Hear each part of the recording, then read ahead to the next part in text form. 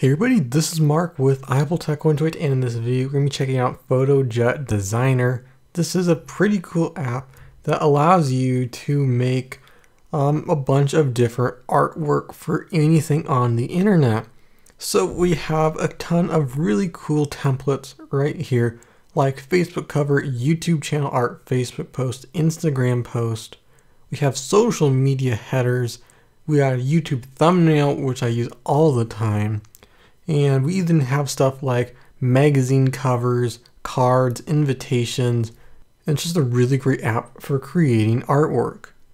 So let's see how this works. Let's go ahead and make a thumbnail for this video. So go down to YouTube thumbnail and you can see it's 1280 by 720, which is the size a thumbnail should be.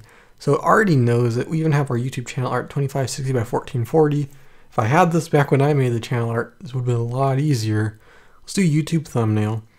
And if you choose one of the templates, it'll give you a ton of different options to start. If you go from the very beginning, you don't get these template options if you pick your own size. But if we do go for something like this YouTube thumbnail right here, we get tons of different ones right here. We can even narrow it down by category and there's a lot of categories there. So let's look at maybe tutorial. And let's see, we'll try this one right here. Now that we got our template, we can go ahead and click on something.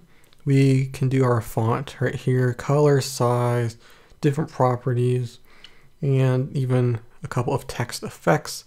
We can double click on that and we can just say FotoJet Designer and then there we go. Now we have a really cool looking effect. We can even change pretty much everything in here. If we go to photos, we can pick from the four that they give you. We can get some from Facebook, even search them on the internet, or we can add them from our computer. So if we have an icon or something, image we want to add, we can do that. If you're making it from scratch, you can choose your own text and add your own text. And you can see all the different fonts they have. My favorite feature is the clip art section. And I think that's really awesome for something like a social media banner.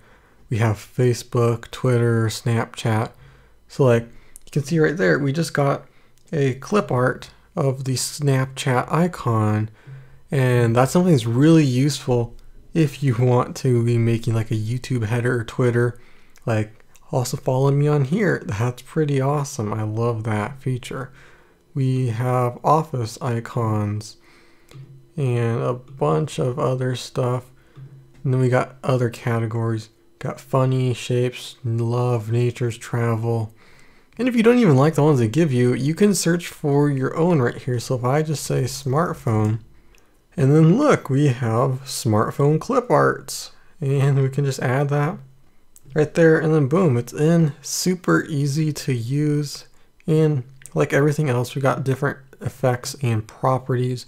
And like Photoshop, we can send it to a back or forward, in front of or behind, that sort of stuff. For background, we can go ahead and choose a solid color or a pattern, and that's really nice to put your own style on it. And these are really not necessary because if you pick a template, it'll work really simply and give you a really nice background to start off with. So I want to go ahead and leave here. I am done with this. I'll just say, do you want to continue? Yes. I'm going to create a custom size right here. And we're going to be making a movie poster for Amazon.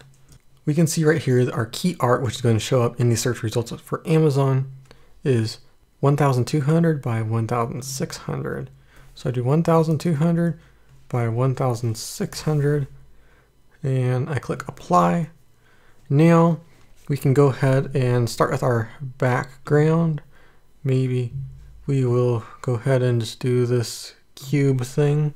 This is going to be a movie poster for our new movie that we're making. Let's go ahead and add a photo. And then I'm going to go into here, maybe pull up my 30 frames productions logo, just like that. It drops right in. And then let's search the web. We're just going to say dark web. Okay, so we can search for our images. It'll take me a while to figure that out. But now we got some text we need to add. We can add one that looks like a Snickers logo, or we can get something computer like that. And we will just say Underworld Web, which is the name of our movie. We can go ahead and make the font size bigger. Can stretch that out, move it around, can enlarge it that way as well. And it automatically snaps to center so everything lines up and looks really good. We got some shapes we can add lines like that. So we can go ahead and just, you know, divide everything out. And one thing I really like is the embellishment. And we can do something like a um, bubble maybe. So like a text bubble, which is kind of cool. Or maybe a clip. We can like pin something to here. I think that looks pretty sweet as well.